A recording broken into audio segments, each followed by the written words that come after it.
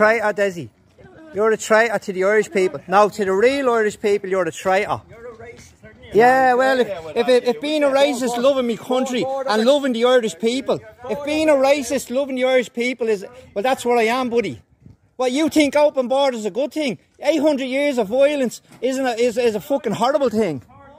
Yeah, I'll record you all day long, buddy. All day long I'll record you. You don't fucking matter to me. You're the traitor. What's up? Here I have an article from the Irish Independent, and it says Sinn Féin TD told he should have been, you know what, imprisoned by pro-Irish protesters. Because I'm not going with this anti-immigration nonsense. These people in the media want to go with anti-this and anti-that, and what they don't understand and what they fail to support are people that are pro-Irish that want to keep their community safe and protected and preserved, which they are entitled to do. And yet, this media and these politicians are out there calling you all sorts of names, like in the video that you just saw before this, that they conveniently left out talking about here in this article. They didn't tell you what Dessie Ellis is saying back to people, or is even instigating with people. You know, it's something that we've looked at over the years, where you see a politician come out with a sob story like this one here, where he's crying of him to make you feel sorry for him, but they failed to tell you what actually happened. So that's why videos with these people are important because these politicians, in my humble opinion, are career lawyers that are now being caught out when it comes to videos that are emerging.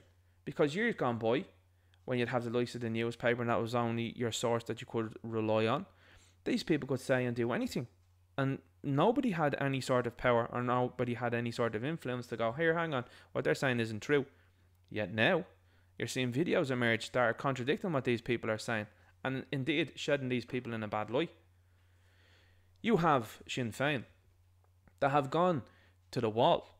They have become woke. They have become leftist. They are just the same as any other party that's in there in the Dáil. They are all the same. It's a uniparty, in my humble opinion.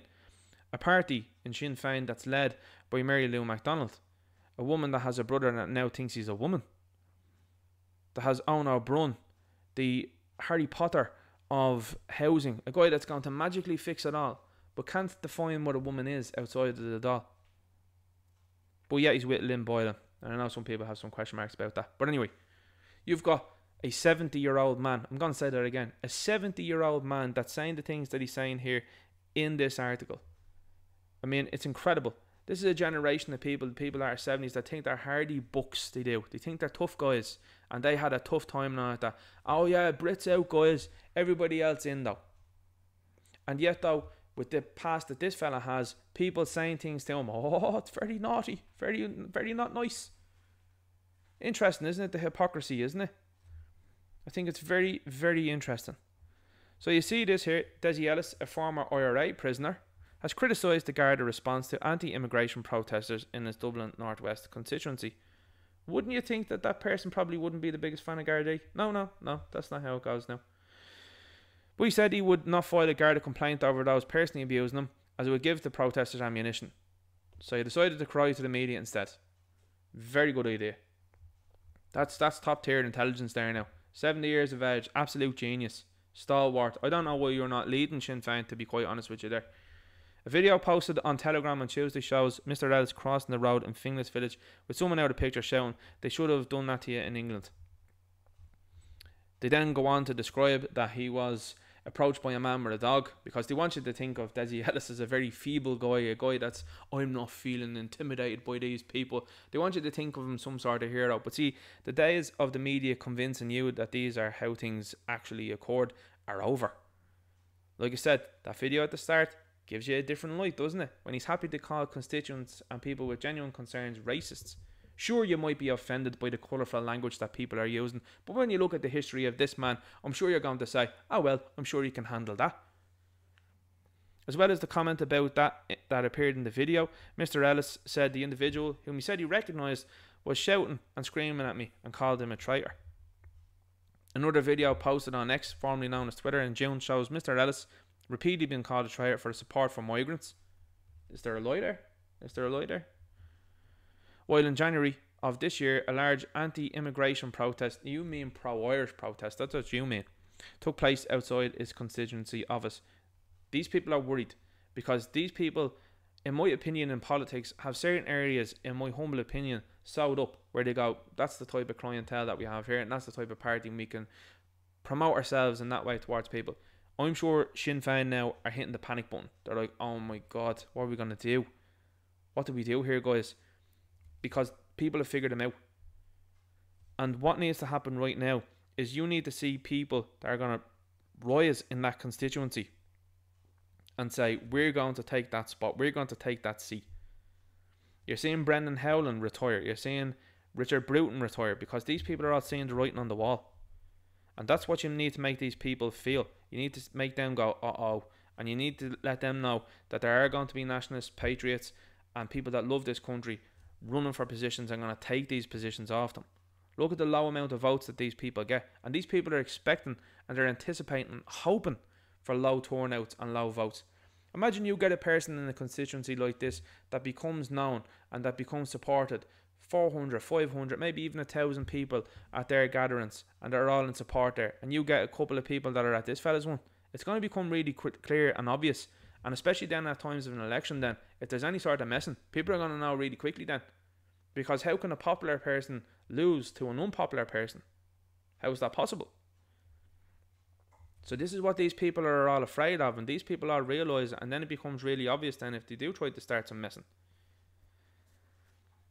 It's happened a good few times, Mr. Ellis said on Tuesday. I'm expecting more when it comes to the local elections. They are the same people. That's a tinge of fear there, I would say. I'd say he's realising, uh oh, there's more of this on the way.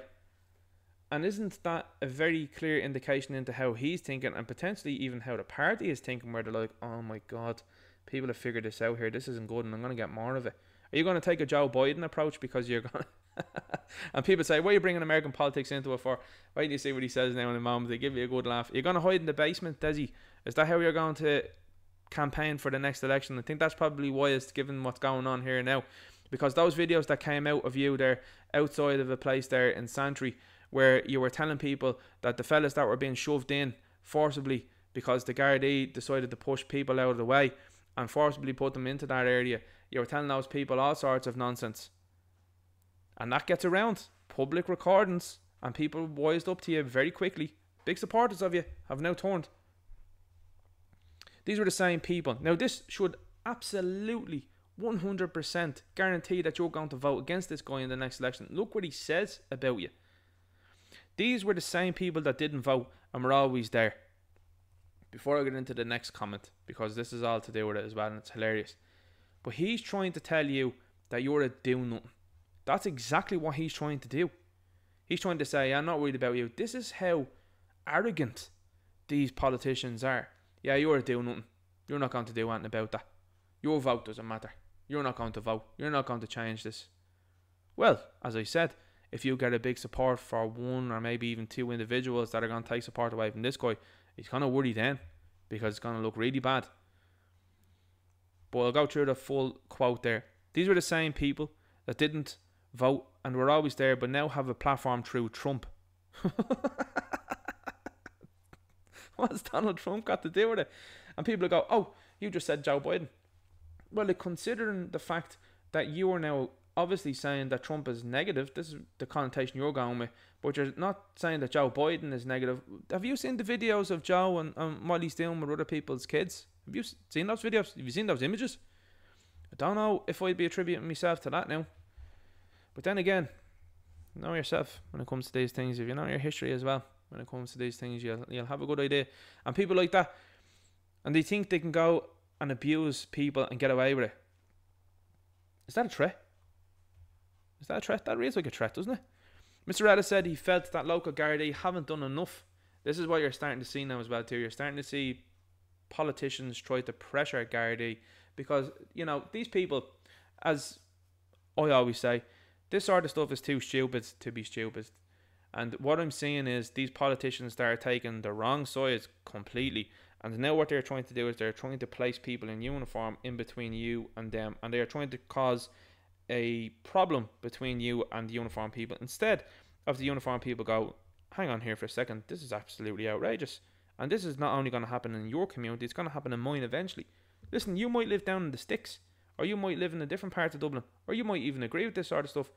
But when this sort of stuff Like these people welcoming people into our country that they don't know who they are, where they're from, if they're criminal history or nothing. These other countries aren't sending their best, let me tell you that. And when that happens to you in your community, then people like me are just going to go, I told you. Because you can see what's happening in America. You can see it's happening in the UK. You can see it's happening as well in France and various other parts of the world. So, again, deciding to try and put the Gardaí in between yourself and the people, the Gardaí are going to realise quicker, I think, than most that this is a bad idea. What you're trying to do. To clamp down on protesting the Finglas area. What do you mean clamp down? What does that mean? People are organising themselves there peacefully and they're having their piece being said because you don't want to hear it. You don't want to have any sort of conversation with people that feel differently to you. So in protest in January this year outside a hotel housing asylum seekers and refugees in Ballymun. But people were told that all these people were coming from the blue and yellow flag waving country, but none of those people that actually arrived matched the census that happened in the blue and yellow flag waving country, not the ethnicities or anything like that as well. And then it's predominantly fellas. So why are all these fellas coming to this country? What's the story with that? I'm a bit annoyed about the guards not dealing with this if they'd been more firm from day one. What do you mean by that? Expand upon that. What do you mean? I'm not going to give them ammunition by going to the guards. No, you're just going to go crying to the media instead. They want to appear like martyrs like this, that we're standing up to people. I stood my ground against these people. They've done nothing for the community and they never will. They will come out and abuse people and that's it. Well, we shall see. Ellis, a self confessed former IRA member, and former television repairman, as if that's meaning anything, served a 10 year sentence in Portlaoise prison in the 1980s after being convicted of explosive charges. Oh, but this fella is uh, very upset about Horty Ward's been said to him. The hypocrisy. As like I said, it's astounding, isn't it? He was also later acquitted at a separate trial in a London court on charges of conspiring to cause explosions in Britain in the early 1980s. Wow. Wow. So you were convicted of explosive charges and then you were acquitted at a separate trial. And you have the gall to say to people that there is Uh, phobes. and you have the gall then to say Gardaí should have been more firm with these people. Isn't it insane the world that we currently live in right now? We live in a radically different timeline than anyone else expected us to be living in right now in this year. And you've got politicians that are actively working, in my humble opinion, against constituents, against people that are Irish, and are against people, my humble opinion, for future generations. It's absurd. And like I said beforehand, it's too stupid to be stupid. But do us a favour. Go out. Make sure someone that's in that area, in that constituency, gets a vote and takes this fella's seat. That's the way to go about this. 100%. Because I firmly believe that we can and we will regain control of our country. And it is very doable and it is very easily done when it comes to the ballot box. Now, I know some people are out there that don't believe in that, but make these people do outrageous things so that it becomes obvious to everybody.